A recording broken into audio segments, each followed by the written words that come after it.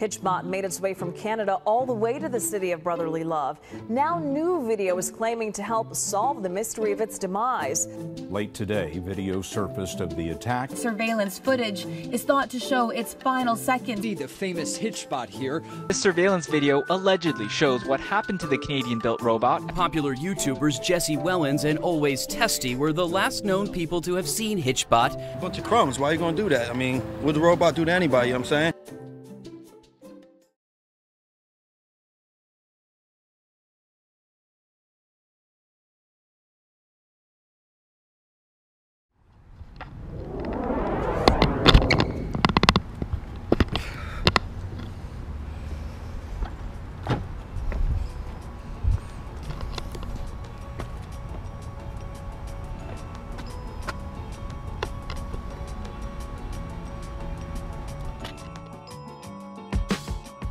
So you all heard what happened to the robot, right? I think we're gonna have to orchestrate. We don't know who did it. I couldn't get the surveillance footage. So we're gonna make our own surveillance footage right now.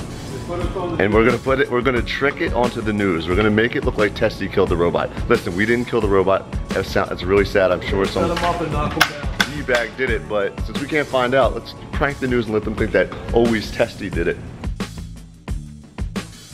We're gonna recreate the Hitchbot as best as we can. We're just gonna make the hand. See this is happening, Ned. We're gonna pull this off. Looks pretty close, right? Yes, really good.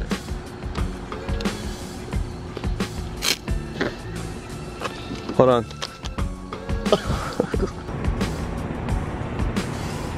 you alright? Yep, just clean it up a little higher, right?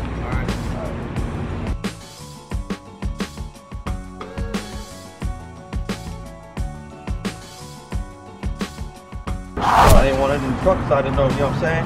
It had GSP on it and stuff. So I said, you know what I mean, put it in the back. He put it in the back seat. Yeah, so so we put